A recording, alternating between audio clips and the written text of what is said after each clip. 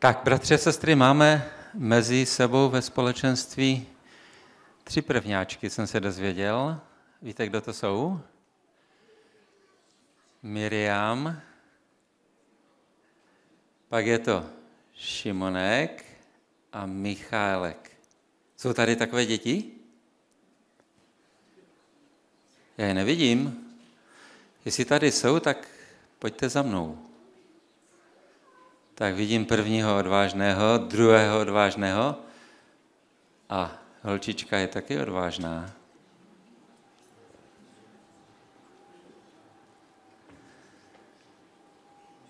Tak to jsou krásné děti, krásní tři mladí lidé.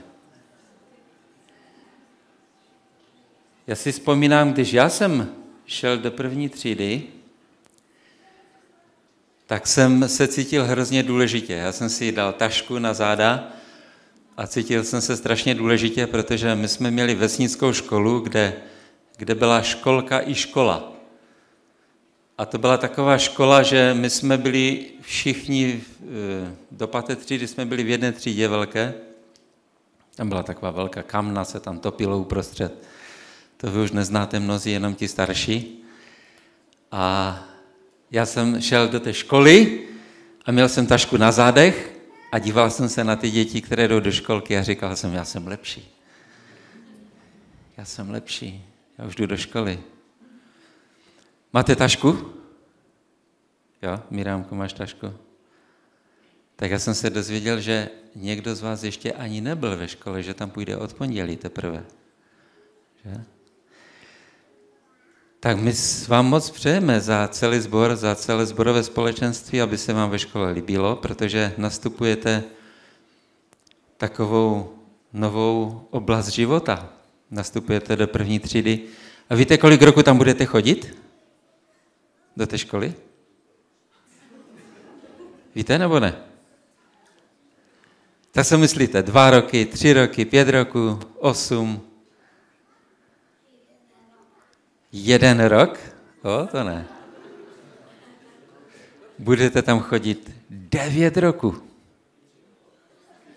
No, devět roku trvá základní škola v České republice. Tak se těšíte?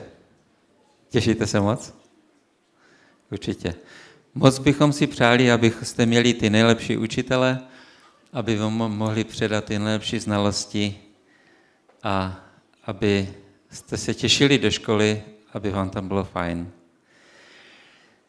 Já jsem rád, že jsou tady se mnou děti na podiu, protože my se chceme s nimi modlit. Oni tady se mnou zůstanou. Já je tak trošku obejmu všechny. Budeme se společně modlit a vás poprosím, abyste povstali k modlitbě. Nebeský Otče, chceme ti děkovat za to, že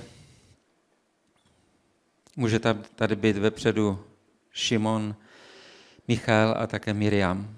Děkujeme ti za to, že už to nejsou děti, které jsou batolata, ale ani předškoláci, ale že postoupili v té vývojové fázi a už jsou to školáci. Pane, ty víš, že přicházejí také z povinnosti. A já tě prosím o to, abys je provázel ve škole, abys jim žehnal celých devět let jestliže ty nepřijdeš a budou absolvovat celou základní školu, požehnej jim a dej, aby mohli přijmout to nejlepší z toho, co můžou přijmout. Děkuji ti za to, pane, že jejich život není závislý jenom na informacích a vědomostech, ale že také rostou v boží škole. A děkujeme ti za sobotní školu, do které můžou patřit. Požehnej jim tam a dej, aby rostli nejen ve znalostech obecných, ale i ve znalostech tebe samého a Božího slova. Nebeský Otče, děkujeme ti za to, že jsi dobrý, děkujeme ti za to, že jsi lepší, než si dokážeme pomyslet a domyslet. Pane, já ti děkuji za tyto tři mladé lidi a prosíme tě o to v této chvíli, abys jim požehnal. Amen. Tak něco dostanete na památku, že jste byli prvňáci, jednou budete na to vzpomínat. možná už budete velcí a budete mít svoje děti a budete jim ukazovat, co jste dostali v první třídě. Takže Bible pro kluky a holky, tak to je Šimonek. Tak to je Michalek. A to je pro Miriam. Takže budete číst s maminkou, s tatínkem a věřím, že vám to bude požehnáním. Tak můžete si sednout. Děkuji.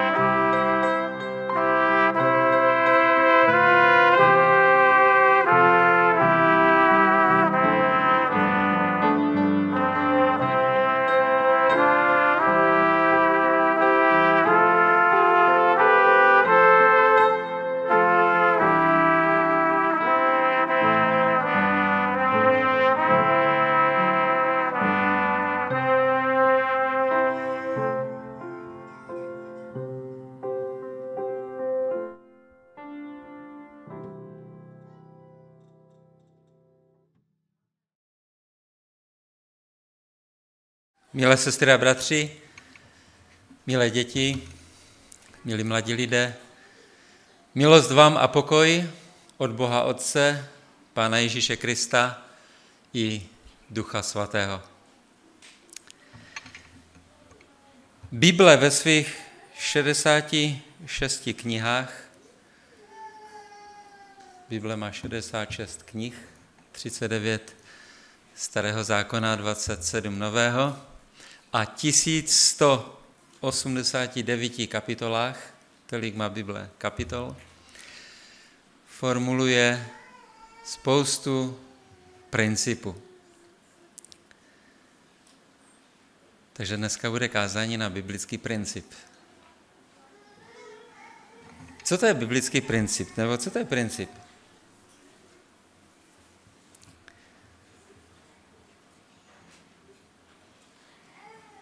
Mění se někdy principy? Nebo jsou pořád stejné? Principy, princip je něco, co se nemění, co je stále, co je trvalé. A když mluvíme o, o principu Božího slova, tak to jsou přímo božské zákony, které se nikdy nezmění, které mají trvalou platnost. A nikdy nás dokonce nesklamou. Princip je něco, co platí v době Davida, tisíc let před Kristem a princip je něco, co platí dnes v 21. století a od té doby se to nezměnilo. Je to pořád stejné. Některé principy se týkají lidí obecně. Třeba Galackým 6.7. Víte, co tam je napsáno? Galackým 6.7. Co člověk zasévá, to také sklidí. To je takový obecný, že, princip? A platí? Platí v době Davida? Platí dnes? Změnilo se něco? Co? Aha, ale já myslím, že i tehdy koukl rostl. Protože i pán Ježíš říká, že tam nepřítel rosel na to pole koukol a vyrostl koukol. Možná, že toho koukolu je dneska víc, že té kultury možná bylo víc tehdy. Dneska e, musíme víc vynaložit úsilí, abychom vypěstovali kulturu. Je to možné. A ty to můžeš posoudit, protože jsi hospodář. Ale je to princip, je to princip, že co člověk zaseje, to sklidí. Když zasévá špatné věci, špatné věci se mu vrátí, když zasevá dobré věci, vrátí se mu dobré. I když to nemusí být hned, okamžitě, momentálně, ale s nějakým horizontem se to stane. Některé principy se dotýkají křesťanů. Třeba Filipenským 4.13. Někdo to řekl dneska v mládeži ten verš, Filipenským 4.13. Všecko mohu v Kristu, který mě posiluje, nebo který mi dává sílu. Je to text, který platil v době starého zákona? Možná místo toho Krista tam byl Pán Bůh. No, ale všechno mohu v Bohu, který mi dává sílu, který mě posiluje. Myslím, že, že je to princip, který je pořád stejný, jak v době minulé, tak v době přítomné a bude platit pořád. Celou věčnost. Nic se na tom nikdy nezmění. Některé principy se týkají třeba i vyloženě Pána Boha. Třeba Jan 4.24. Víte, co tam je napsáno? Písmáci ví, že to je o ženě, která dostala živou vodu, Jan 4. kapitola. Bůh je duch a ti, kdo ho uctívají, mají jak činit v duchu a v pravdě. Je to princip? Je. Vždycky Bůh byl i duchem a všichni, kdo ho uctívali a uctívají a budou uctívat, mají tak činit v duchu a v pravdě. Já bych chtěl dnes zvlášť zdůraznit, protože eh, probíráme úkoly sobotní školy o utrpení, o žáru, zkoušek, a já bych chtěl dnes eh, naši pozornost upřít na text, který je v epištole Římanům a už začíná v 31. kapitole. Začíná ještě dřív, ale já budu číst dneska Římanům v 8. kapitole od 31. po 39. verš.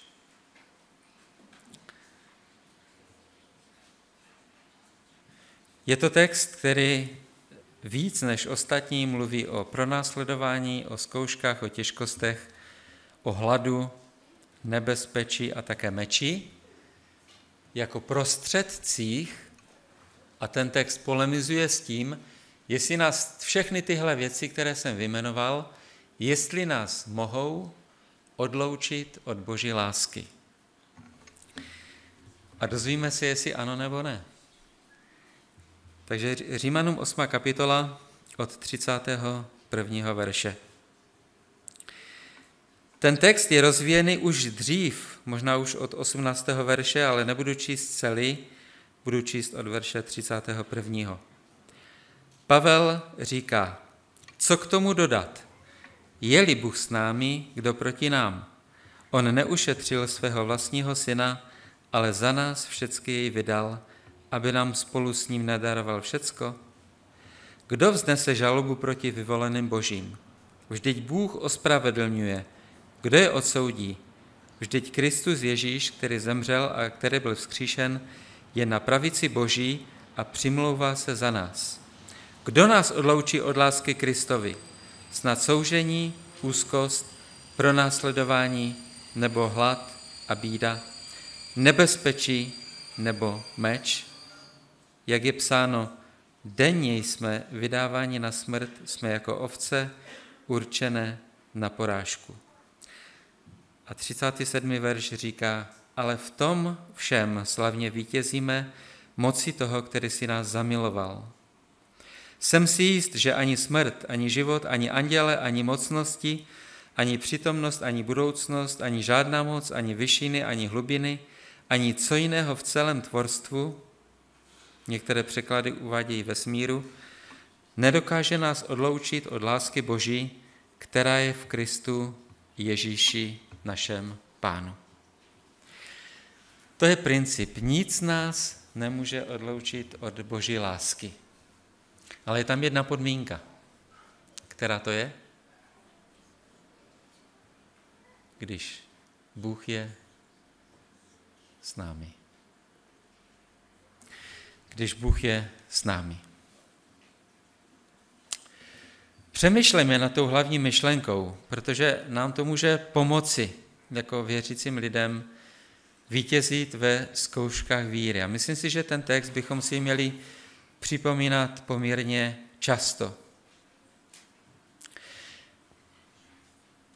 Když čteme ten text eh, v tom 31. verši, je-li Bůh s námi, kdo proti nám, můžeme důvěřovat Bohu, může růst naše naděje a můžeme být také vítězové z boží pomoci ve zkouškách.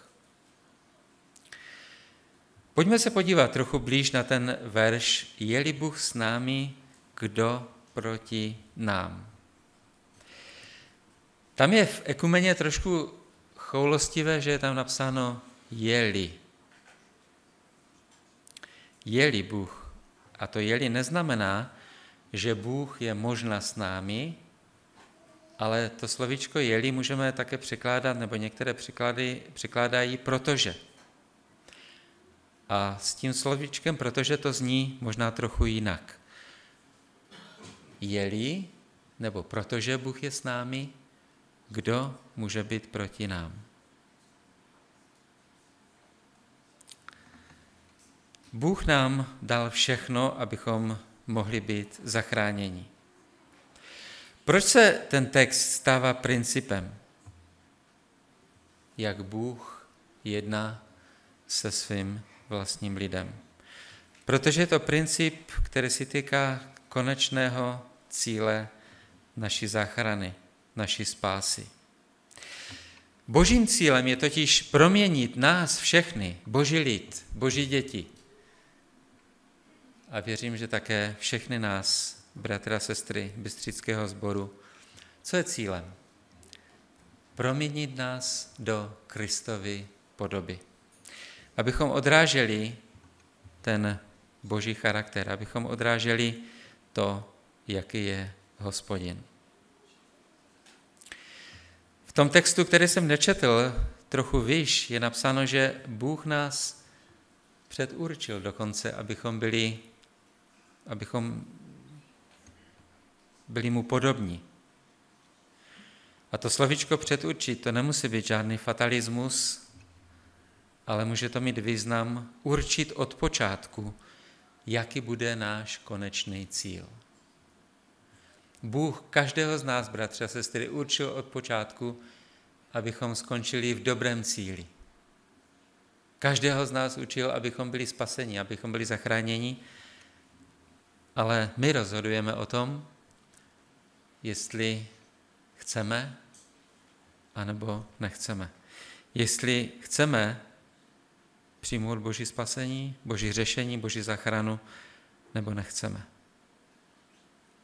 Kristus obraz v životě věřícího člověka, všimli jste si v těch dnešních textech, zaznívalo eh, zejména ve středu, ten obraz, že věřící člověk prožívá utrpení. A ve 28. verši jsme četli celý výčet těch utrpení. Pardon, eh, v 38. verši. A 28. verš, který jsme nečetli, také říká, že víme, že všechno napomáhá k dobrému těm, kteří milují Boha a kdo jsou povoláni podle jeho rozhodnutí. Protože on předem vyhledl, určil, abychom přijali podobu jeho syna. A ty také, které povolal, ty také ospravedlnil a které uspravedlnil, uvedl do své slávy. Všimněte si, že apoštol Pavel nemluví o budoucím čase, když mluví o slávě, ale mluví o přítomném času. Ty, které ospravedlnil, uvedl do své slávy. Tím nechci říct, že o slávu nemůžeme přijít. Svým jednáním, konáním, životem vždycky se můžeme rozhodnout, že se postavíme proti Pánu Bohu. Pán Bůh to respektuje, protože je to součástí naší svobodné vůle. Bůh je na naší straně. Protože Bůh je na naší straně, žádné utrpení, žádná bolest nás nemůže zničit. A otázka je, jaký nepřítel, jaké okolnosti nás mohou odvést od hospodina? Žádné. Žádná okolnost, žádná bolest. Nic nás nemůže odvést od boží lásky. Absolutně žádné okolnosti. Protože konečným božím plánem a cílem je, že Kristus chce být v nás a chce v nás růst. Každý z nás, bratři a sestry, jsme součástí tohoto světa, tohoto života a jsme součástí tohoto utrpení. Někdo větší, někdo menší. Ale každý z nás prožívá nějakou bolest. Nic nás nemůže odvést od boží lásky. List Římanům byl napsán během třetí misijní cesty. A apoštol Pavel už tehdy prošel mnohým utrpením. Zkusme si připomenout ten výčet toho, co on říká o sobě, co všechno prožil. 2. Korinským 11. kapitola a tam od 23. po 27. verš. 2. Korinským 11, 23 až 27.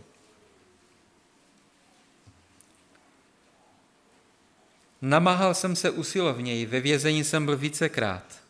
Rán jsem užil do sytosti, smrti jsem často hleděl, hleděl do tváře.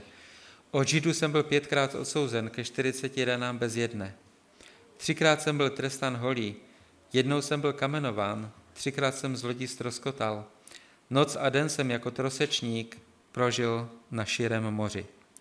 Často jsem byl na cestách, v nebezpečí, na řekách, v nebezpečí od lupičů, v nebezpečí od vlastního lidu, v nebezpečí od pohanu, v nebezpečí ve městech, v nebezpečí v pustinách i na moři a také mezi falešnými bratřími. V námaze do úpadu, často v bezesných nocích, ohladu žízní, v častých postech a v zimě bez oděvu. Když čtu ten výčet, tak si říkám, že jsem toho nezažil ani, ani zanehet toho, co apoštol Pavel. A apoštol Pavel dokáže v té osmé kapitole vyjádřit, že od boží lásky ho nemůže nic odvést. Když budeme procházet těžkými věcmi, žárem zkoušek, potřebujeme citovat tento princip. Protože Bůh je s námi, kdo může být proti mně? Když Bůh je se mnou, kdo se může postavit proti němu? Vždy ten člověk se nestaví proti mně, ale jestliže Bůh je se mnou, tak se staví proti samotnému Bohu. Utrpení může být dočasným prostředkem, ale jenom dočasným, protože víme, že utrpení na této zemi skončí. Utrpení používá Pán Bůh jako dočasný prostředek, jako výchovný prostředek k tomu, abychom se stali podobní Kristu. Věříte tomu, bratři a sestry? Že utrpení může Pán Bůh použít v našem životě, abychom byli podobní Kristu, abychom byli blíže Ježíši Kristu. Můžeme si být jistí, že Bůh nikdy nedovolí, aby nás utrpení zničilo úplně. Znáte ten text, kdy Apoštol Pavel říká, že vás nepotkala žádná zkouška, která je nad vaše síly. Ten princip, protože Bůh je s námi, kdo může být proti nám, velice dobře ilustruje příběh Josefa, který je v Egyptě. Nebudeme číst ten text, ale je to 41. kapitola od 39. verše. Od počátku bratři eh, jsou proti němu, známe ten příběh, eh, závidí mu, protože on se nějak projevuje a eh, za to se mu dostává něčeho, co je zlé. Jakub 1.15 říká, že zlá touha usiluje o naplnění. Takže závist přechází u bratří v nenávist. Bratři se domlouvají, že ho zabijí, hodí ho do cisterny, pak přijdou na lepší nápad, že můžou i z toho něco mít, tak ho nakonec prodají do Egypta. Jaká bude budoucnost Josefa? Bude otrokem až do konce života? Bude na egyptských galejích? Ne, protože s Josefem je hospodin. S Josefem je Bůh a jestliže čteme, jestliže Bůh je s námi a protože Bůh je s námi, kdo může být proti nám, nemůže se ani změnit jeho budoucnost. Jaká je jeho budoucnost? Bůh je s Josefem i v Egyptě. I když je otrok a spravuje celý Putifarův dům. Mnohokrát je napsáno na tom místě, že s Josefem byl hospodin. Scéna se mění, Putifarova žena chce obžalovat Josefa ze znásilnění, ale situace se, i když se mění a Josef se dostává jako vězeň do egyptského vězení, tak se situace nemění v jeho životě. Josef je vězeň, ale Josef jako vězeň se připravuje na situaci, kdy nebude jenom obyčejný vězeň, ale také bude správce věznice. Bude ten, který bude ostatním e, pomáhat a bude také pomáhat tomu, který spravuje to vězení. Když Bůh je s námi, kdo může být proti nám? A víme, že Josef z vězení přichází jako zachránce Egypta, jako ten, který je druhý po faraonovi. Jako ministerský předseda. Bůh působí, že nenávist mohla prohrát. Bůh způsobil, že mohla zvítězit v této chvíli spravedlnost. Bůh je ten, který byl s Josefem. A jestliže byl Bůh s Josefem v Egyptě, jestliže byl s ním v cisterně, jestliže byl s ním na dvoře Putifara, jestliže byl s ním ve vězení, myslíte, že s vámi Bůh není? Bůh bude stejně s vámi, jako byl s Josefem. Jiný princip, který platí úplně stejně, je u Daniele v třetí kapitole.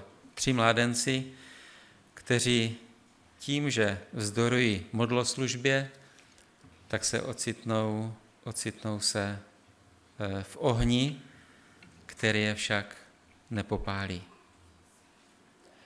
Oni říkají, my se nebudeme klanět ani tobě králi, ani žádnému jinému bohu. A právě proto, že nedělali kompromis, tak se ocitli tam, kde se ocitli. Ale oni řekli, nebudeme se, i navzdory tomu, co se s námi stane, nebudeme se ti králi klánět. Proč? Protože Bůh byl s nimi. Právě protože Bůh byl s nimi, Bůh je posiloval, aby mohli jít do zkoušky, která byla absolutní. A když se král dívá do pece, tak nevidí tři muže, ale vidí čtyři. A co nám to říká, bratře a sestry? Že když procházíme zkouškama, těžkýma zkouškama, možná v, minul, v budoucnu, když budeme procházet zkouškama i tou nejvyšší, že budeme mučedníci, Bůh nás nikdy neopustí. Ježíš je ten, který je s božím lidem i ve zkouškách. Proto je tam ta zmínka o tom čtvrtém muži, který se zdá králi, že jakoby je syn člověka. To byl opravdu syn člověka, to byl Ježíš. Protože Bůh je s námi, kdo může být proti nám? Jestliže Bůh je s námi, proti nám nemůže být ani plamen, ani meč, ani samopal, ani pistol, ani cokoliv jiného. A tak moc bych si přál, abychom nevstupovali do kompromisu na cestě s Bohem. Jako ti tři mládenci. Můžeme stát pevně, jít po nátlakem různých systémů, které nás nutí k tomu, abychom dělali kompromisy. Když jsme v Kristu, když jsme v Bohu, jsme víc než přemožitele.